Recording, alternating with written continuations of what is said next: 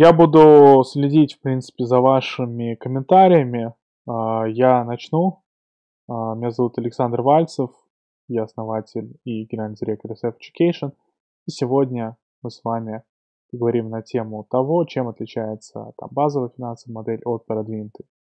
То есть а, первая часть будет посвящена, скажем так, концептуальному, концептуальным различиям. Дальше уже посмотрим с вами пример модели – и посмотрим уровень детализации, в частности.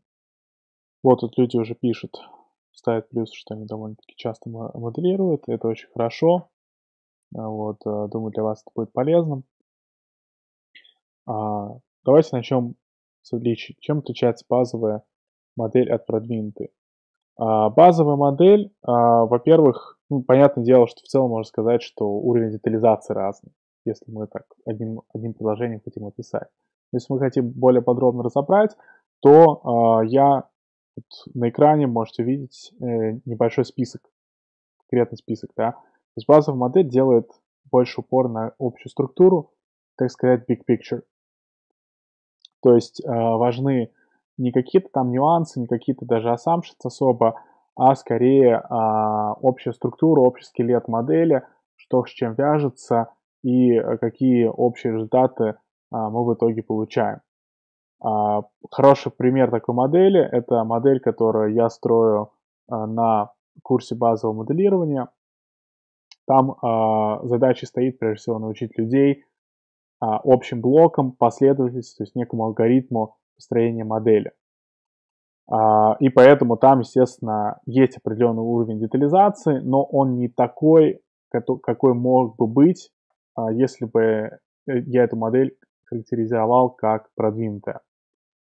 То есть, как я говорил уже э, только что, да, работа с большими блоками, упор на структуру, небольшая детализация, нет упора особо на нюансы. То есть, э, например, э, если эта модель строится там для какого-то стартапа, то там могут не учитываться прям вообще налоги.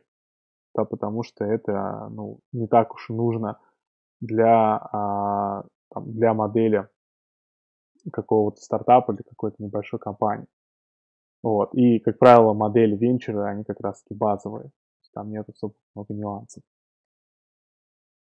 А, эта модель, я называю ее демо-версия или демо-версия, да, потому что базовые модели, если это какая-то модель оценки, например, DCF-модель, там, как правило, а, достаточно лишь посчитать там свободный денежный поток и на основе этого построить уже какие-то таблички а, с цифрами, да, которые показывают диапазон оценки компании или какого-то проекта. Где там нет, например, а, какого-то анализа метрик, там нет, как правило, прогноза форм отчетности и так далее. То есть делается для того, чтобы получить, грубо говоря, в конце концов, какую-то одну строчку, на основе которой уже можно сделать какие-то финальные расчеты. По сути, цель базовой модели, да, это принять решение по поводу того, есть ли смысл дальше а, работать над какой-то историей, какой-то э, инициативой, да, или, возможно, инвестицией. То есть э, очень часто ребята, особенно, которые занимаются private equity, когда они, а, например, рассчитывают какие-то новые инициативы, например, там бюджет капитала вложений делают в имеющихся портфельных компаниях, или когда они смотрят возможные какие-то индустрии новые, они там строят модель там на одну-две страницы, а, в одной странице там assumptions выделено, во второй странице какой-то PNL просто. И все. На основе этого уже как бы принимают решение, там, интересно ли дальше что-то усложнять, да, конкретно рассчитывать, привлекать каких-то других людей, экспертов, которые могут эту модель улучшить или нет. Вот, то есть go, no go decision. Вот цель базовой финансовой модели. Модель продвинутая, она, а, естественно, уже делает большой упор на assumptions, на отраслевую специфику. То есть э, некая базовая модель, он, с ней можно там особо не заморачиваться, то есть использовать там один и тот же шаблон для множества разных индустрий, делать какие-то небольшие корректировки. Если мы строим какую-то продвинутую модель, да, то она уже конкретно строится под определенную индустрию, под определенный проект. То есть она более кастомизирована. А, очень часто продвинутые модели, да, можно увидеть как бы модели внутри модели. То есть, например, у вас модель по оценке апстрима, то есть оценки э, компаний, которые занимаются добычей нефти. Здесь у вас может быть э, несколько разных моделей внутри этой модели. Например, модель производства да, или модель добычи модель операционных затрат.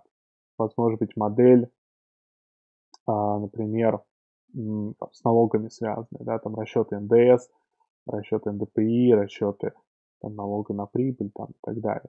У вас может быть отдельная модель, если это какой-то проект именно, а, то модель какой-то rollout, да, rollout а, по разведке да, и формированию новых скважин. Но опять же мы на примере чуть позже посмотрим. То есть может иметь множество вкладок, каждая вкладка это большая работа, в конце концов это все схлопывается в какой-то один лист, где уже у вас есть, соответственно, основной ответ на поставленный вопрос и какие-то дополнительные а, детали, например, определенные финансовые операционные метрики. Цель продвинутой модели, как правило, это уже какое-то структурирование сделки, то есть работа с так называемыми stakeholders. То есть по факту вы уже, когда работаете с моделью, там уже привлекаете, во-первых, определенных экспертов, там налоговиков, например, инженеров, а, банкиров, если какой-то кредит используется, то есть, может быть, смотрите какие-то коммерческие приложения от банков, и э, эти, всю информацию вы инкорпорируете.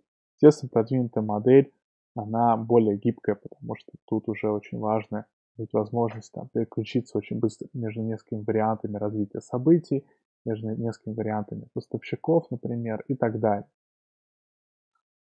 А, и, конечно же, там модель уже делается для того, чтобы можно было на основе нее, например, а, организовать какое-то новое ООО, там вложить в него деньги, а, эти деньги уже использовать конкретно для а, развития там, какого-то нового направления. То есть, да, то есть на основе этого уже даются команды разного уровня менеджерам, то есть работа превращается с такой стратегической в работу операционную или работу проектную.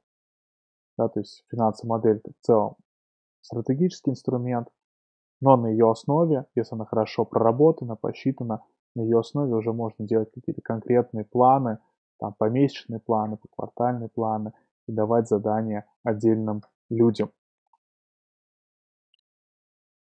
Какие необходимы знания и навыки для продвинутого моделирования?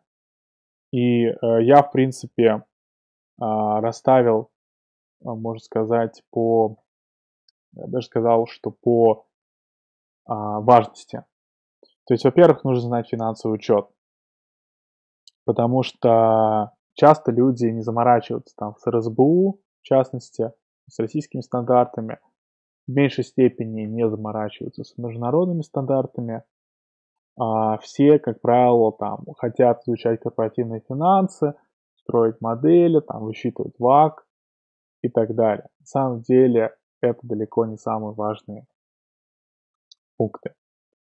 Гораздо важнее понимать, а, как строится отчетность, а, как можно группировать расходы, а, как считать налоги и так далее и тому подобное. А дисконтные ставки, например, те же самые, да, далеко не самый важный вопрос. Простой пример. Артур Шубаев, который работает с нами а, в рамках курса продвинутого финансового моделирования. И, кроме этого, работает в очень престижном инвестиционном бутике Advanced Capital. А, помню, рассказывал мне про то, что там, проекты в нефтегазе, например, а, никто особо не заморачивается вообще с высчитыванием дисконтных ставок, берут просто какую-то фиксированную ставку, например, там 18% и ее используют для дисконтирования денежных потоков при оценке нефтяных скважин. То есть, потому что, ну, это такой фактор, который нужно учитывать, так сказать, заноза а, в заднице, да, но без него модель не получится. Поэтому берут просто какую-то фиксированную ставку и ее используют для работы. Далее, а, скиллы в Excel. В Excel очень важно, а, конечно, для, для продвинутого моделирования, чтобы вы могли уже строить какие-то сложные формулы, которые могут там парсить данные с разных листов, там трансп, транспонировать данные, а, чтобы можно было там использовать какие-то функции типа индекса, да, или там VPR, для того, чтобы можно было быстро считать какие-то отдельные моменты, да, чтобы не расписывать, а, не плодить какие-то таблицы постоянно, да, чтобы можно было а, делать более-менее компактную модель, и при этом, чтобы изменения в одном пункте, да, сразу транслировались на все остальные листы и, соответственно, транслировались на output. А также очень важный момент, что а, можно слишком сильно или, э, довести до фанатизма работу с Excel, да, работу с э, формулами.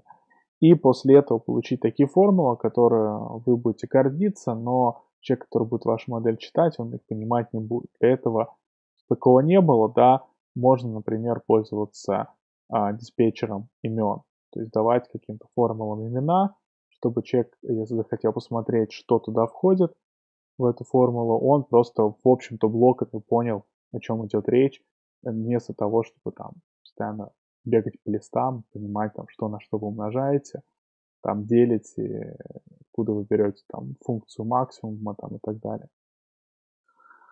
Далее, отраслевая специфика, big picture, да, почему это важно? Потому что а, вы можете построить а, довольно-таки сложную модель с точки зрения Excel, там, с точки зрения учета, но, а, допустим, эта модель будет нерелевантна для конкретной отрасли, потому что в данной отрасли есть свои какие-то серьезные нюансы. Например, вы не будете брать там модель, которая пригодна для ритейла, ее использовать для оценки нефтяной компании. Точно так же вы, скорее всего, не будете брать модель какой-то производственной компании и использовать ее для оценки интернет-бизнеса определенного, да, потому что везде есть свои определенные нюансы, есть везде свои определенные метрики, выручка по-разному зарабатывается, денежные потоки по-разному устроены, и а, даже если вы будете экспертом а, в связи там между формами отчетности, если вы будете экспертом там в налогах, то не факт, что вы все равно будете в итоге производить качественный продукт. Кстати, ребята, вы можете задавать вопросы в чате.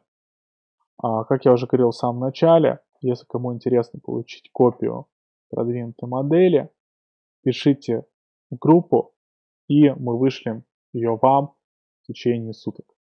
А, важный еще момент, если будете писать, указывайте сразу свой email, чтобы потом мы вас не переспрашивали. То есть, как я уже говорил, отраслевая специфика очень важна, потому что отраслевая специфика а, может не только, не только показывать, что вы профессионал, да, то есть вы знаете там а, бизнес нефтегаза, да, апстрима, например, или вы знаете бизнес не знаю, там, онлайн-школ, да, то, что сейчас популярно стало, а вы банально не допустите какую-то ошибку, которая на порядок изменит конечный результат и, допустим, э, отпугнет инвестора. Да, чтобы не было такого, что вот вы сделали модель, все выглядит хорошо, как только пришел эксперт, посмотрел там что-то а, в этой модели, подремонтировал, то конечный результат будет таков, что потенциальный инвестор там скажет, слушай, мне это не интересно, что-то вы тут вообще много у вас затрат каких-то, которых раньше в предыдущей версии не было. Налоги вдруг появились.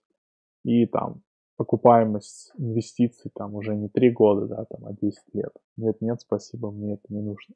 Самое главное, не допускать такого рода ошибок, как раз таки понимание целой специфики вам это позволит не делать. В конце концов, бизнес judgment. Что имеется в виду? имеется в виду, что ваша модель, да, а, когда вы строите модель, нужно не, э, по крайней мере, пытаться фокусироваться не на том, что у вас крутая модель, там рабочая, все красиво выглядит и так далее. Или какие-то нюансы, например, а, как закладывать лаг а, в оборотном капитале. Далее, как закладывать лаг от эффекта капитальных затрат, например, да. А, а самое важное это то, чтобы эта модель имела смысл с бизнесовой точки зрения. То есть модель это то, что а, описывает реальный бизнес, реальную компанию, да, только в виде цифр. То есть все, наверное, знают, что есть а, разного там рода орг-схемы, есть схемы, описывающие бизнес-процессы, есть разного рода регламенты, да, вот эти все вещи а, есть в любой нормальной компании. То есть у вас есть там какие-то картинки, да, у вас есть какой-то текст. То есть вы можете компанию представить с точки зрения там орг-структуры. Вы можете компанию представить с точки зрения там, цепочки создания ценностей. Вы можете представить компанию с точки зрения там, карты бизнес-процессов. Да. Точно так же можете представить компанию с точки зрения финансовой модели. То есть очень важный момент, чтобы вы могли видеть лес среди деревьев. Вот. И э, приведу пример, чтобы было понятно, к чему я веду. А, недавно помогал людям а, с, с каким-то заданием в один из венчурных фондов, а, где кандидатов попросили построить там, фин-модель для некого а, какой-то микрофинансовой типа организации, что-то в этом духе. И э, какой-то интернет, интернет-агрегатор э, или что-то в этом роде, который помогал людям брать там, Э, быстрые кредиты. Вот. А, и, то есть, были даны какие-то определенные assumptions, assumptions, да, которые, а, может быть, имели смысл определенный, но я уверен, что там не было всех assumptions, которые нужно учитывать. И э, было сказано, вот там постройте нам модель. Естественно, когда вам дают все assumptions, если вы знаете, как выглядит модель, построить ее это расплюнуть. Другой момент был, что никто не учел а, серьезные затраты в этом бизнесе на маркетинг. То есть там, на привлечение клиентов, которые могут там доходить порядка до 40-50% от выручки. Соответственно, так как с, маркет, с расчетом маркетинга никто особо не заморачивался а, из этих кандидатов, а, там получался какой-то дичайший ARR, типа 100% в год, а, с маржой беды там по 80%, и по факту, ну, с точки зрения модели все круто, все правильно, ошибок нет. Там а, все э, делали оценку компании на основе там free cash flow to firm, то есть с точки зрения там а, регламента, да, или best practices модели были неплохие, но с точки зрения бизнеса они были совершенно дурацкими. А, или еще пример такой краткий. Я помню, работал на сделке по продаже завода. А, завода а, производителя бумаги.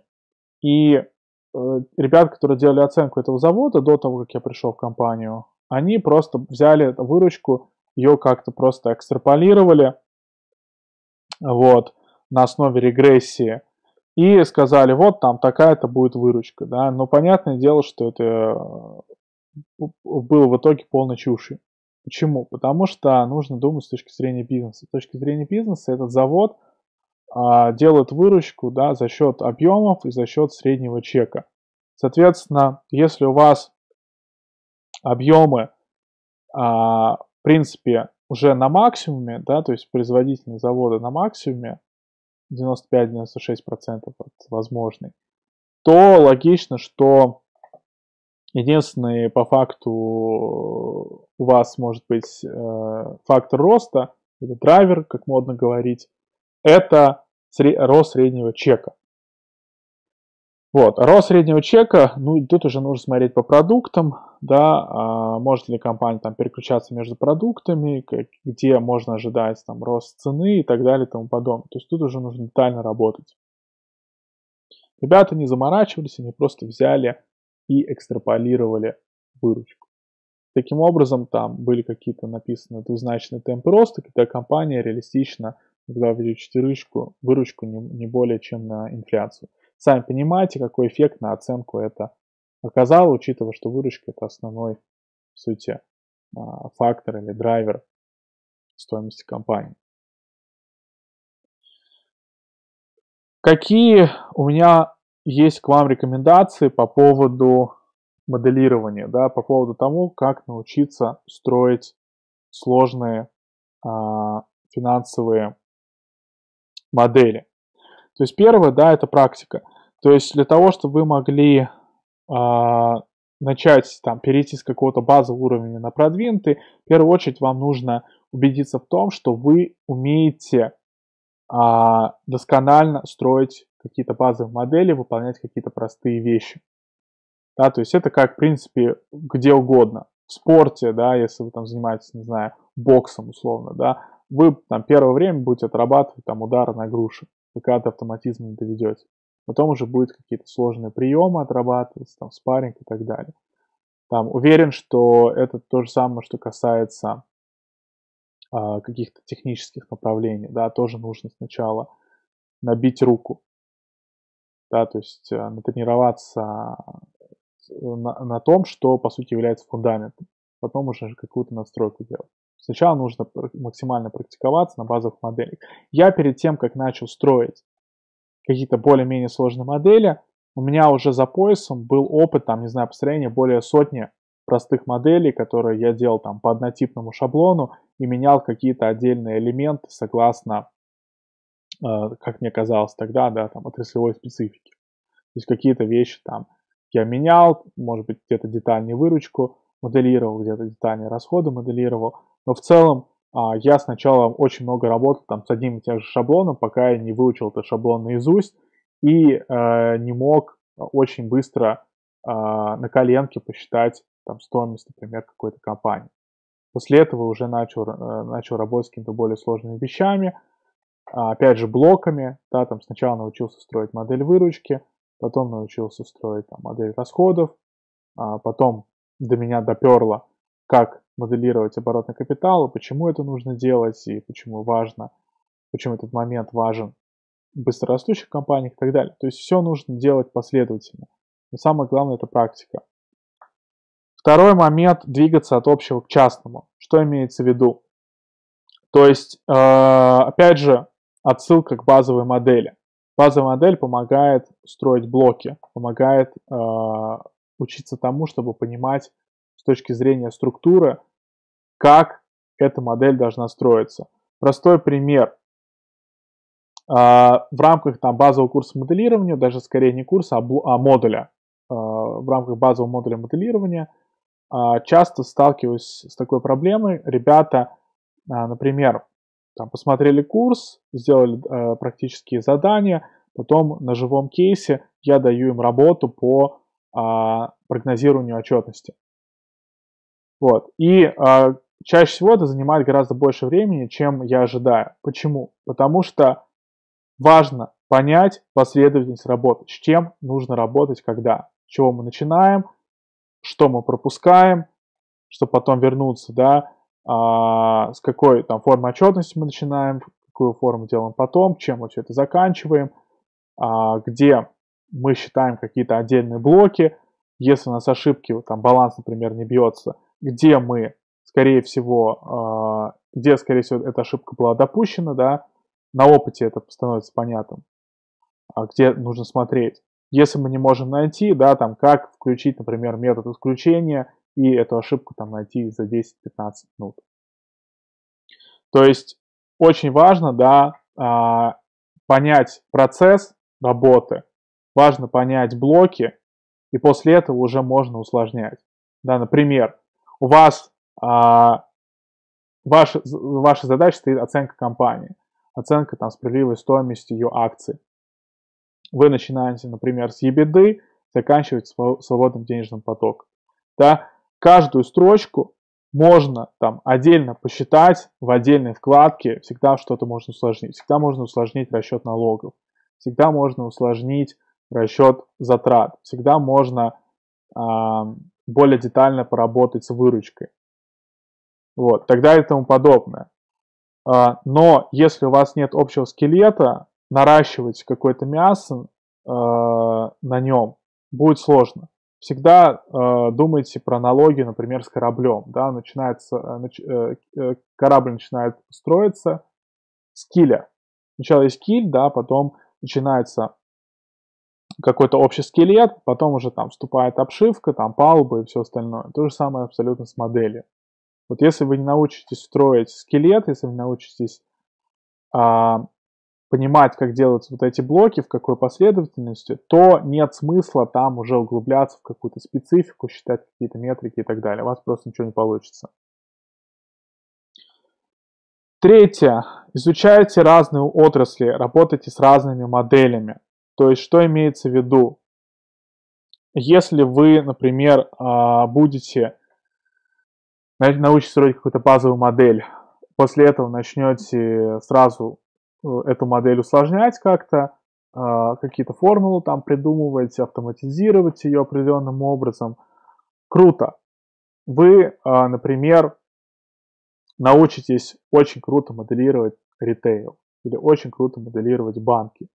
Но это не даст вам особого плюса в жизни потому что в жизни нужно быть более гибким и нужно знать на каком-то определенном уровне несколько разных отраслей, да, потому что, скорее всего, будете, вы не будете работать с проектами в одной индустрии.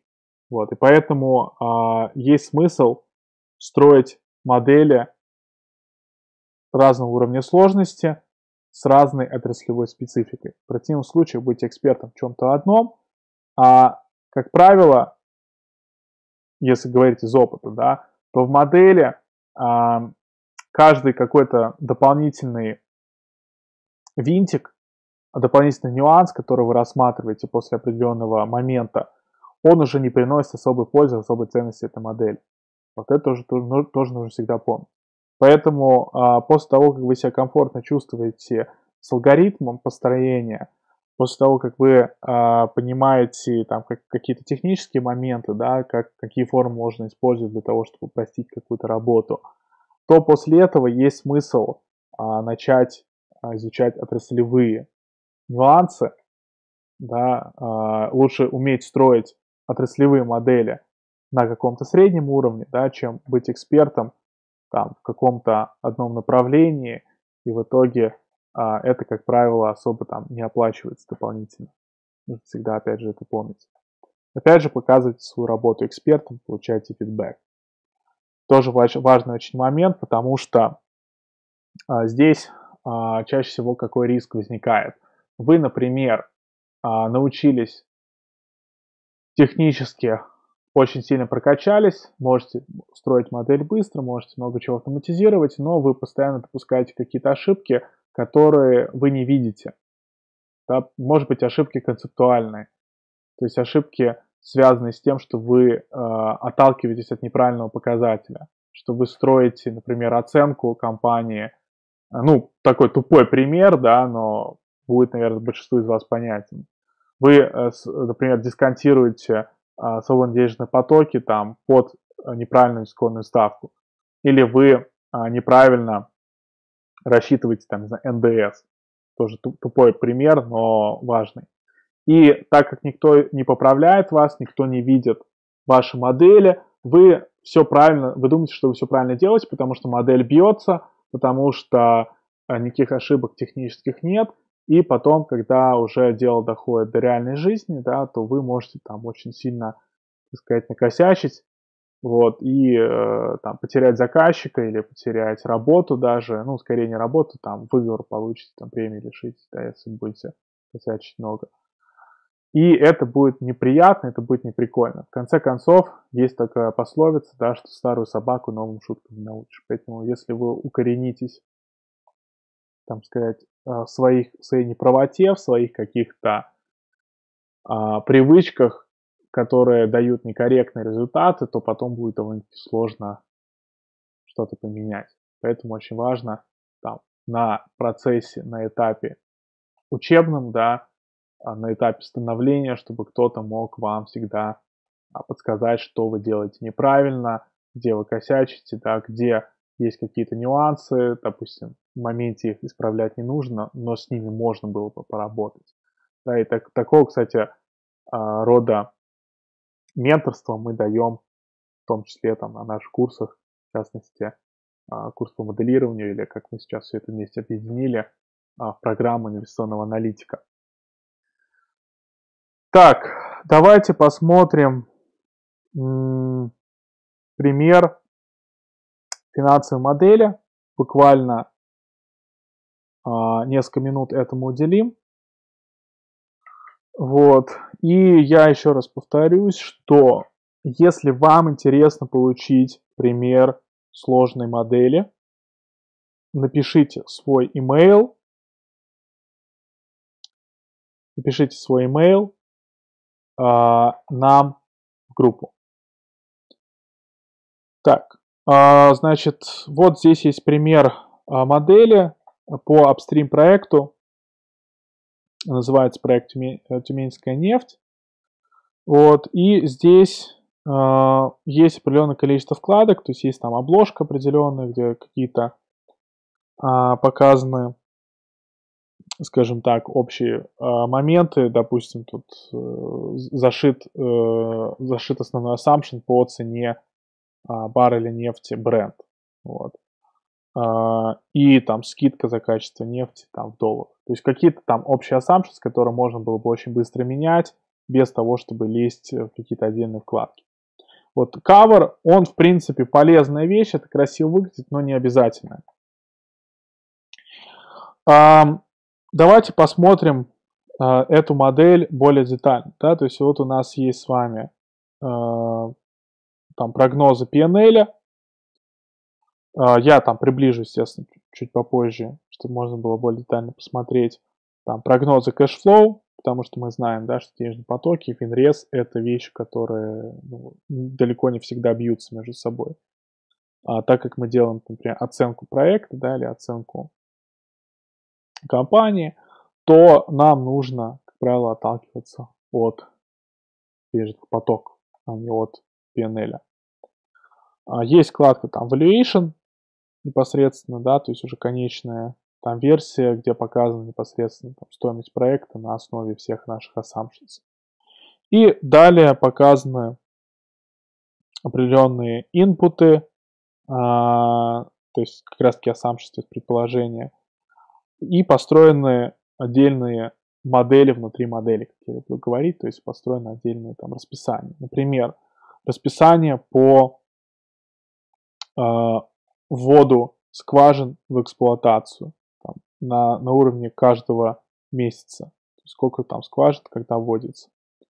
Соответственно, э, нефтегаз таким образом устроен, да, что у вас там output, он со временем падает, причем довольно-таки сильно. То есть, если вы в день сначала можете там, качать X баррелей нефти, да, то через э, год это может быть там цифра в 2 раза ниже. То есть, соответственно, с, э, вместе с этим э, именно это э, является там одним из факторов, который обесценивает, соответственно, нефтяную компанию со временем. Поэтому нефтяную компанию постоянно приходится искать новые месторождения или покупать новые месторождения для того, чтобы наращивать выручку или как минимум а, держать выручку или добычу, более правильно, на одном и том же уровне. Вот есть а, модель выручки по нефтяной компании, да, есть модель операционных затрат, есть модель тут такая спаренная по капитальным затратам и чистому оборотному капиталу. Вот я предлагаю начать сначала с, input, э, с инпутов, да, или там с assumptions, и после этого уже перейти к отдельным расчетам и в конце концов уже смотреть там на э, результирующие формы отчетности и evaluation, который сделан на основе их. Опять же, мы не будем там прям по строчкам двигаться, я какие-то отдельные покажу моменты. Вот, э, как видите, в макро здесь зашиты эм, э, переменные, связанные со временем. Например, когда там э, начинается проект, в каком году, в каком квартале, э, в чем происходит измерение, да, там месячные это или квартальные а, расчеты. То есть тоже очень важно для того, чтобы там получить конечный результат. Далее показан, например, цены на нефть, а, там бранки, а, а, марки бренд, а, скидка за качество, соответственно, показано, например, стоимость транспортировки в расчете на тонну, а, показан там обменный курс, тоже там следует учитывать, потому что если мы, а, это российский проект, то здесь, естественно, затраты будут операционные в рублях, а выручка, соответственно, будет в долларах. То есть там этот а, момент, связанный а, с валютной разницей, да, он может либо играть на руку, либо наоборот а, оказывать определенное давление на маржу. То есть многие, наверное, слышали такое выражение, как рублевая бочка. Здесь далее показана инфляция, какие-то assumptions по инфляции, макроэкономические, как вы видите, в основном значит пока предположения. Показана пошлина экспортная, показаны эм, затраты на транспортировку нефти уже внутри России. Вот. И, в принципе, показан, опять же, там заложен налог на прибыль.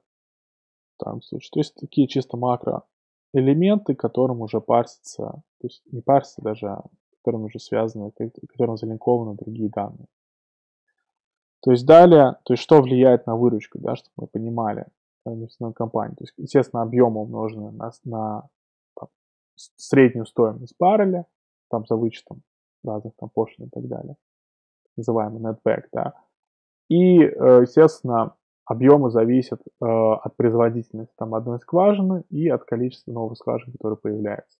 Поэтому мы с вами следующим моментом рассматриваем, следующим шагом рассматриваем именно так называемый drill schedule. То есть расписание по э, тому, сколько новых скважин вводится в эксплуатацию и, соответственно, сколько этих скважин всего работает.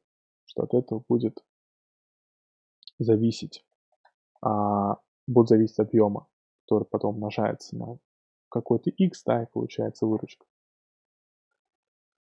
Вот, есть определенные тут уже технические э, коэффициенты. Да, например, там дебет скважины, сколько тонн в день одна скважина в самом начале добывает. Да, в данном случае написано, что для всех скважин, например, 60 тонн в день. Опять же, здесь могут быть какие-то, сразу скажу, метрики, которые я не очень хорошо знаю, потому что я не считаю там себя экспертом в нефтегазе абсолютно. И э, какие-то э, строчки я могу просто пропускать, чтобы на них не останавливаться. Вот, но в целом, опять же, можете потом сами изучить, если вы напишите в группу да, и укажете свой email. Вот, кстати, эта модель там, естественно, более детально объясняется непосредственно самим автором а, в рамках курса продвинутого моделирования. То есть, в конце концов, что мы имеем? Здесь не такая, кстати, не такое большое расписание, по крайней мере, визуально. Не, не, ну, не кажется чем-то таким объемным. А, но э, главное, что дает результат. Результат, сколько всего там скважин э, вводится каждый месяц, да, и, соответственно, сколько всего скважин работает э, каждый месяц, приносит а, данной компании а, непосредственно объемы, которые уже после этого компания превращает эти объемы в выручку. Соответственно, модель выручки, тут тоже есть определенные там assumptions. Вот что, кстати, интересно, что модель а, довольно-таки продвинутая, но здесь, например, все assumptions не собраны на одном листе. Вот есть лист отдельно там для макро assumptions, но, например, а, для каких-то более а, детальных вещей а, предположение делать непосредственно самих вкладках. Вот, то есть здесь какие-то данные там парсятся с других листов, например, мы видим э, то же самое там netback парсится из вкладки макро. Э, непосредственно объемы добычи или добычи парсятся с листа drill schedule. Э, соответственно, там объем добываемой нефти уже рассчитывается непосредственно там на основе этих цифр и с учетом определенных коэффициентов. Вот, например, здесь а, указывается определенный коэффициент а, добываемой нефти под экспорт. Тут не очень хорошо видно, может быть, на экране, но это синим цветом отмечено. То есть, э, что это означает, да, что если мы экспортируем, то мы получаем выручку в долларах, но при этом платим определенные пошлины там, и, и, и, и э, несем определенные расходы на транспортировку. Если внутри страны, то, соответственно, мы получаем рублевую ставку, да, но какие-то определенные расходы отсутствуют. Вот то здесь показана выручка там на внутреннем рынке, на экспорте, да, и того выручка в разбивке по месяцам. Тоже интересный момент, потому что на самом деле, э, извините, здесь не по месяцам, здесь по годам показано. Но в других вкладках, видимо, было по месяцам. То есть э, для проектных моделей очень часто могут, может быть довольно-таки большая детализация, по крайней мере, первые там год-два могут быть прогнозы построены помесячно. При этом после этого там, несколько лет могут быть показаны квартальные цифры, уже потом показаны а, годовые значения. Это очень важно, потому что такую модель, как правило, потом используют уже для проектного менеджмента, да, для того, чтобы мы могли в самом начале не запокапить, могли в самом начале иметь большой контроль над происходящим и а для этого нужны детальные расчеты там, на первые, то есть за короткие шаги. Можно было быстро оценивать а, эффективность. Да, отстаем от расписания, отстаем, где какие-то ботлнеки там и так далее. Потом уже, когда компания выходит на определенный уровень, там уже а, большой уровень контроля, по крайней мере, со стороны там, топ-менеджмента может быть не нужен. Следующий у нас есть, допустим, вот лист с операционными расходами. Здесь показано, естественно, а, ну, на мой, по крайней мере, визуально лист больше, чем предыдущие листы, которые мы с вами видели, особенно лист выручки. А, ну, опять же, почему? Потому что лист выручки э, был, по сути, размазан на три листа. Там, на макро, Model Schedule и, соответственно, сам агрегирующий, агрегирующий список. Точнее, не список, а лист. Соответственно, если в одном листе делать, тоже получился бы довольно-таки объем. Здесь вот у нас есть OPEX, да, там интеграция издержек, естественно, парсится там из макро. Есть определенные расходы э, в расчете на баррель. А, вот. А есть какие-то, соответственно, коммерческие общие административные расходы. Дальше довольно-таки детально считается НДПИ, налог на добычу полезных ископаемых.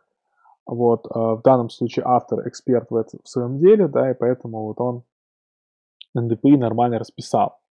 Если бы э, эту модель там строил я или кто-то другой, то, скорее всего, там НДПИ я бы не смог там нормально так детально посчитать, я бы взял просто какой-то коэффициент.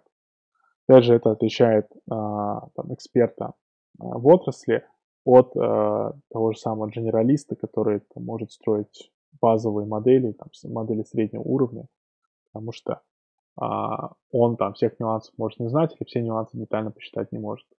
В принципе, если цель стоит там просто посчитать на коленке, то деталей можно много не включать. Если эту модель там, использовать потом для проектного менеджмента, то здесь важно рассчитывать такие вещи, как НДПИ, которые ну, там 30-40% от выручки спокойно может занимать ну, в эффективном расчете. Фот показан а, тоже там в баксах все считается. Ну, здесь модель, видимо, в долларах. Автор решил в долларах устроить. Там налог на имущество. Опять же, как я понимаю, не особо детально здесь это рассчитывается, видимо, не особо важно. Здесь просто показано 2,2%. А, транспортировку. Э, это э, расходы переменные. То есть здесь, соответственно, у нас ставка какая-то на тонну идет. Какие-то расходы парсятся из других листов, какие-то расходы считаются здесь. Ну вот, и того мы видим, да, какие основные затраты там нефтяной компании. Экспортная пошлина, операционные, операционные затраты на добычу, SGNA, да, или коммерческие общие административные.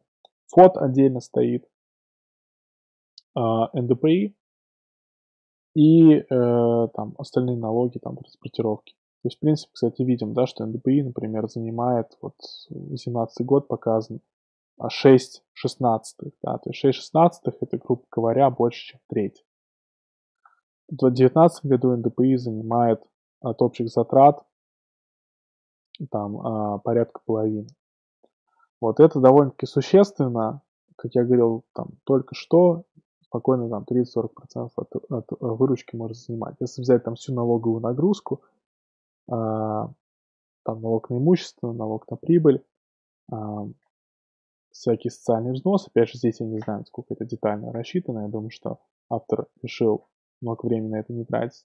То, естественно, общие там налоговые расходы могут довольно-таки сильно оказывать давление на маржу. Там 50, может даже 60 процентов там, прямых косвенных налогов.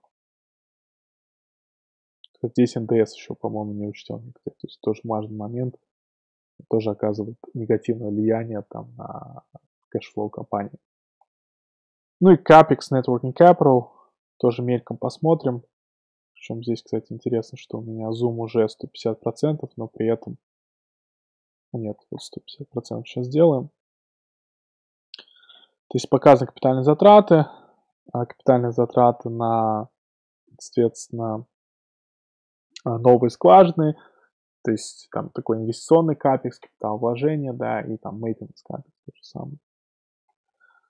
Естественно, автор э, очень детально там расписал на, соответственно, поддержание деятельности капекс, на, на бурение, то есть на, на новые активы. А, показан сразу расчет, показана амортизация. Довольно-таки а, детально все это на самом деле рассчитано здесь а, с учетом там, временного фактора, да, то есть, по сути, модель тут построена, на самом деле, на порядка на 20 лет или даже больше. То есть, э, все эти моменты тут учтены. А, далее, там, по оборотному капиталу, чисто оборотный капитал, чок, там, дебиторка, кредиторка. Интересно, что рассчитано в днях. Потом это все, естественно, можно конвертировать а, в какие-то проценты и в конце концов конвертировать это в реальные доллары там, или рубли. Я, как правило, там чок строю э, в процентах сразу, то есть там считаю дебиторку от выручки, но, э, видимо, там best practices или, может быть, просто персональная э, преференция автора в том, чтобы рассчитывать такого рода показатели в днях. Оборачивание запасов, кредиторка, дебиторка, основные составляющие чистого оборотного капитала. Вот. Ну и, соответственно, для нас, для модели, для cash flow важно понимать именно изменения в чистом оборотном капитале, потому что если он увеличивается постоянно, означает, что мы должны как акционеры деньги либо докладывать в бизнес, чтобы он мог расти дальше, либо мы а не можем платить там себе какие-то дивиденды, возвращать капитал. Деньги должны оставаться в рамках компании. Тут уже все зависит от конкретных кейсов.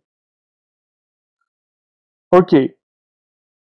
Ну и, соответственно, в конце концов, на основе вот этих мини-моделей мы с вами получаем там прогноз PNL, а, мы с вами получаем cash flow, сейчас более детально посмотрим, хотя, в принципе, тут ничего сложного не будет, да, там есть выручка, выручка там на внутреннем рынке, выручка от экспорта, об, общая выручка, там минус экспортная пошлина, получаем чистую выручку. То, соответственно, минус расходы разные, операционные, а, SG&A, НДПИ, ФОТ, там, налог на имущество и так далее. Получаем в итоге некую ебеду. Вот, видимо, ебеду, видимо, амортизацию автор решил там не зашивать SGNA, а отдельно, отдельной строчкой написал ниже. Вот заметьте, кстати, такой момент, что здесь нет такого понятия, как валовая прибыль. Это как раз таки вот один из отраслевых нюансов. Посмотрите отчетность той же самой, той же самой Лукойла или Роснефти, там нет такого показателя. У вас будет выручка, у вас будет OPEX, у вас будет уже, соответственно, там, операционная прибыль или беда. Ну и беду вы в отчетности не увидите, потому что это нестандартный показатель. Но gap, говорится. Но а, вот внешний вид, опять же, да, а, учтен. Учтен этот фактор здесь в модели. Нет такого понятия, как валовая прибыль. А, причем тоже нюансы видимо, тоже отраслевые, что, например, SGNA в себя не включает в данном случае фот.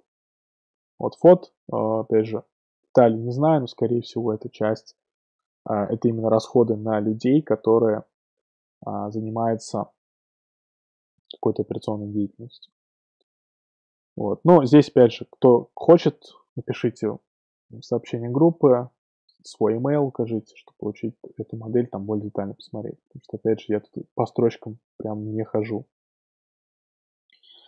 Соответственно, э, там EBITDA минус амортизация, получаем EBIT. минус процентные выплаты, которых здесь, в принципе, нет, потому что, видимо, автор решил не закладывать э, долговое финансирование в эту модель. Я уверен, что это можно сделать при желании. Получаем там до налоговую прибыль, минус налог на прибыль, и получаем чистую прибыль. Ну, соответственно, чистая прибыль это не кэш. А, эту прибыль нужно нормализировать, из этой прибыли нужно вычесть э, инвестиции в оборотный капитал, чисто оборотный капитал, инвестиции в капекс и так далее. Соответственно, так это происходит, да, начинаем с чистой прибыли, а, учитываем изменения в чистом оборотном капитале, учитываем капитальные затраты капекс, то есть инвестиционная деятельность компании, учитываем финансовый там, денежный поток, и на основе этого, соответственно, получаем а, денежный поток за период, и при желании можем посчитать, если хотим, опять же, там баланс кэша, то есть баланс денежных средств на конец периода. И только после того, как все это готово, естественно, мы с вами можем а, уже перейти непосредственно в valuation. В частности, мы можем увидеть, что valuation тут занимает, ну, на самом деле, очень мало места. В своей практике тоже могу сказать, что valuation, в принципе, это самое легкое, что можно уже сделать. Когда у вас есть все готовенькое, а, все assumptions, все потоки распланированы, там уже взять, использовать какую-то формулу в Excel, или даже если вы ее не знаете, использовать какую-нибудь формулу из учебника, там вручную посчитать э, с помощью там равно, плюс-минус поделить там, и так далее. Это довольно-таки просто становится. В данном случае, даже если посчитать конкретно, то оценка занимает ну вот с девятой строчки по 30. То есть по факту там 20-21 строку. Операционный денежный поток у нас парсится с другого листа. Из cash flow, естественно, выплаты парсятся тоже из из P&L в данном случае, хотя, в принципе, выплаты можно в cash flow указать. Капитальные затраты тоже, естественно, парсятся там из cash flow, но в данном случае автор решил парсить их непосредственно из расписания CAPEX. Хотя это можно было попарсить тоже из cash flow, так как это уже агрегированные цифры. Также считается cash flow, свободный денежный поток. Соответственно, как вы видите, WACC здесь вообще, а, о чем я говорил на самом деле в самом начале, он э, вообще играет минимальную роль. 15% просто стоит и все. Никто его даже тут не рассчитывает. ВАК 15%. Почему? Ну так принято в России. А, это там, стандартная исходная ставка для нефтегазовых проектов. А, бывает и выше, бывает ниже. Там, в Штатах, например, используется а, ставка 10%, так называемый PV10 модель PV10, Present Value 10. 10 это 10%, соответственно, 10%. Вот, и все. Терминальный темп просто, да, потому что мы все-таки оцениваем там нефтегазовую компанию, то есть это не какая-то скважина, которую вы купили, истощили, и все, больше кэша не имеете. Здесь какой-то есть определенный э, прогноз роста денежных потоков в бесконечности, потому что эта нефтяная компания будет постоянно заниматься тем, что будет покупать новые месторождения, или а, эксплорировать, да, то есть исследовать и ну, вводить в эксплуатацию новые месторождения. Ну и, соответственно, дальше уже считать там, в принципе, нечего, да, когда у вас есть ВАК, у вас есть терминальный темп просто, то есть вы можете продисконтировать каждый денежный поток с учетом фактора дисконта, опять же, все очень легко считается. Здесь тоже есть свои определенные нюансы, но их раскрывать сейчас не буду. Вот, может быть, те, кто изучат эту модель более детально, смогут потом просто сами написать там, мне в личку, например, да, и сказать, там, я тут один нюанс заметил, которым раньше не сталкивался. Естественно, сумма денежных потоков, да, это очень легко уже. Когда продисконтировать денежные потоки, все это сложить, это ну, дело 10 секунд. Терминальная стоимость в данном случае считается через модель а, Гордона или Гордона, а, хотя можно считать через мультипликатор – но а, тут, видимо, автор решил использовать ее. Может быть, так принято в его компании. Не знаю. Естественно, складываем прогнозные денежные потоки с терминальной стоимостью, получаем стоимость компании. Ну и дальше, если бы э, целью работы э, всей модели была там оценка акционера капитала, можно было бы уже там очистить каких-то балансовых значений, получить справедливую стоимость акционерного капитала. Соответственно, справедливую стоимость каких-то долей, там, так далее и тому подобное. То есть вот пример а, такой продвинутой модели. А, опять же, я ее несколько раз видел, для меня она уже не кажется там особо продвинутой, потому что ну, я уже привык ее видеть, я уже знаю, в принципе, основные блоки, а, знаю, что где можно менять, там, почему это так выглядит и так далее, где можно было бы ее усложнить при желании. Но думаю, что для большинства из вас это довольно-таки сложный вариант.